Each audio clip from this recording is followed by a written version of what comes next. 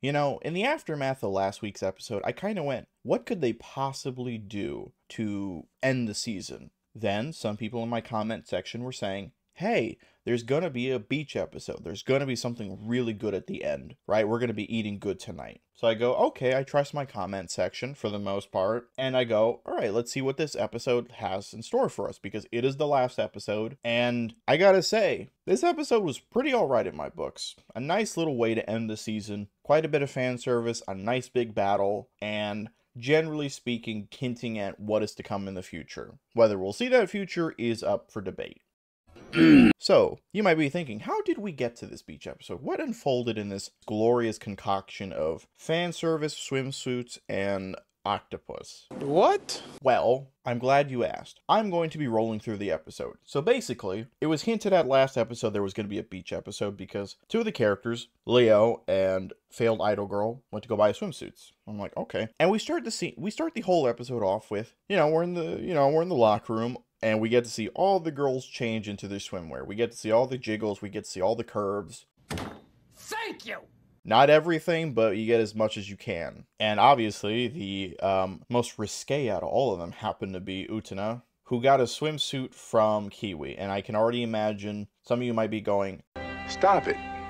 Get some help. You would be correct, because Utena was wearing a micro bikini because Kiwis thought that was good for her. Everybody obviously went, Holy shit, you are exposing a lot of skin there, girl. And she changed into something a bit more Utena. And we kind of have a fun beach episode where they interact, you know, the evil magical girls in their civilian identities interact with the good magical girls in their civilian identities. And it's a fun, grand old time. Now, the big moment among this little, uh, you know, this whole beach thing was a scene between Bubbles and Utena.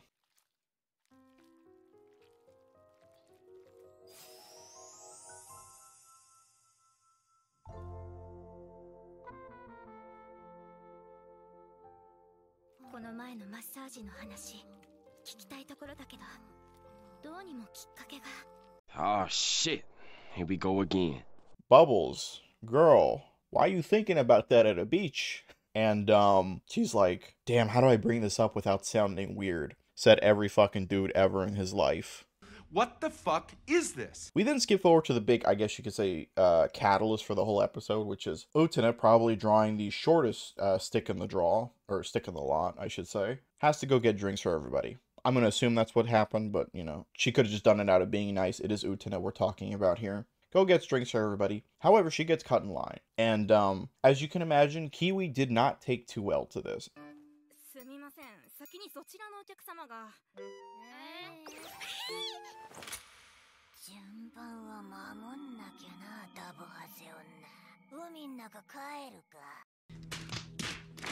This dumbass decided, let me use my magical girl powers and threaten these two these two chicks, and I'm just going. You blew it! I get you're horny for Utena, but chill the fuck out and as you can imagine somebody screamed and said here are the evil magical girls or here's one of the evil magical girls. And a fight ensues. And obviously utena's really disappointed that this happened because she's like i just wanted a fucking vacation. I wanted a day off. Well she got at least some at least she got something out of this vacation. So a fight ensues between the evil magical girls and the good magical girls right? Now what happens is utena decides to use her riding crop and smacks a octopus without anybody seeing it because she's gotten that good with her powers and turned it into a giant octopus. This thing did not discriminate in the slightest bit. It attacked both good and evil magical girls. And my god, all I have to say about this scene was uh for all the bros into octopus and all, you know, into those kinds of scenes of seeing girls being um strung up by tentacles, I will promise you you will enjoy it. But wait! Sulfur doesn't like shit like that. Sulfur pretty much looked the most vulnerable I've ever seen her look. Oh my god, I used her real name. I meant Buttercup. now, here's somebody is missing, however, from this thing. Also, we did get to see um some uh I guess she I guess some nice moments seeing, you know, uh Leo and failed idol girl being pressed up against each other with some tentacles surrounding them.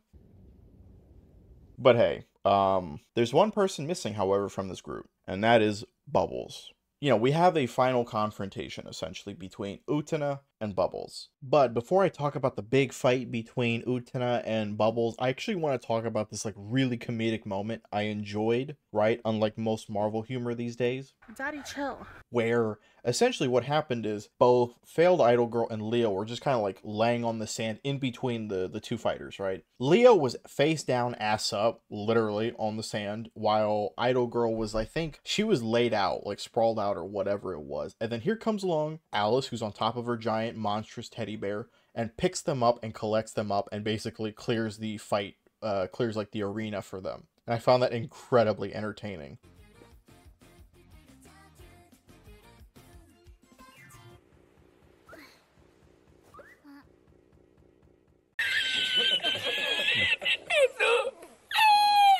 And I gotta say, I, I really do enjoy the humor in this show for the most part. Most of the jokes for me land. And in this instance, I really think it landed pretty damn well. And now I believe it's time to finally talk about the giant battle between Utena and Ginobili! Mistress versus Masochist. Who will win? Spoiler alert.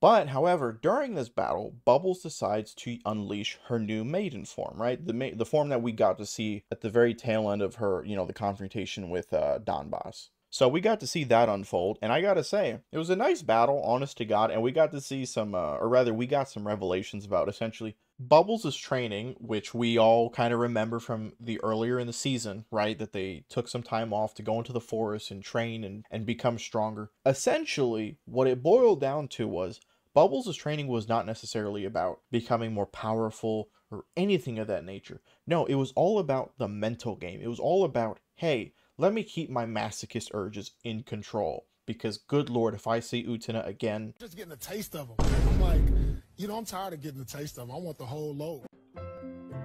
Disgusting right? So that's kind of why we kind of got to see that training unfold before our very eyes. The fruits of her labor, as they might say. So, some of you might be asking, did Bubbles hold up? And all I have to say is, she damn well did. You know, she could have lost it, right? She could have willingly just, you know, bent over backwards for Utena and just literally asked, slap me harder, mistress. But she didn't. She kept back those urges. And look, man, she managed to win the fight. Believe it or not, Bubbles managed to win this fight against Utena and her crew. And all I have to say is, I'm proud of the bitch. Oh my. And you might be thinking, is that where the episode ends? Well, no, there's actually two scenes left after this one. So the second to last scene is kind of like a a wrap up scene, right? It's you know, they're it's the nighttime at the beach and everybody's kind of having a fun time with fireworks and talking and generally speaking, having a good time. They obviously had, you know, explanations to be like, "Oh, this is why I was missing during the magical girl fight." You know, but it was it was generally a nice wholesome moment, right? In you know, which is in stark contrast to the lewd and and fan service stuff we just had like five minutes ago in the episode. As for the final scene, well, it's kind of like a uh, how shall we say? The final scene is reminiscent of like a Saturday morning slash Friday night cartoon. And what I mean by that is, you know, we end the episode essentially with a, a battle, right? Or the beginnings of a battle between Utena's like you know squad of evil magical girls and the good magical girls. We obviously don't see you know how the fight goes or anything like that. All it's supposed to show you is, hey, this is like the be- the continuation of their fight. This is going to be an ongoing thing, right? We've only just begun essentially. begun.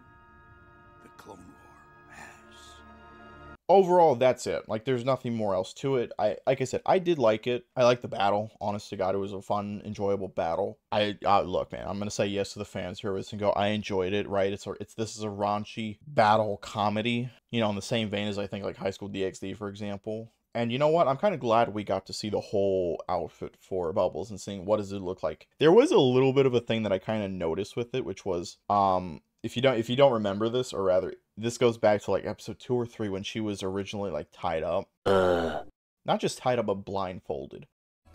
is that when she was transforming into her maiden's outfit, part of like her face got like wrapped up, like she was blinded in a sense. So I'm thinking that's like an acknowledgement of like what had happened between her and uh Utena, like that early on. And plus she's wearing like a maiden, like a shrine maiden outfit. So like I said, I'm pretty sure it's hinting at that whole thing. And she even acknowledges the whole what happened ep- you know, back in episode 7, like midway through the season. I'm going to keep this brief. I don't have much else to say about it. I really did enjoy this episode overall and i think it was a decent way to end the season I, you know i would have preferred if like episode 11 or no yeah episode 11 was the way the season ended but you know this is a fine way to do it not great but it's not terrible like i think this is a decent way to end the season as a whole and some of you may be thinking i wonder what would have happened if Uten had actually wore that micro bikini the entire time But wait! There's more!